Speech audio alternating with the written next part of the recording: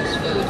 You plants, sunlight, water, minerals, the right Over the last 50 years, thanks to the common agricultural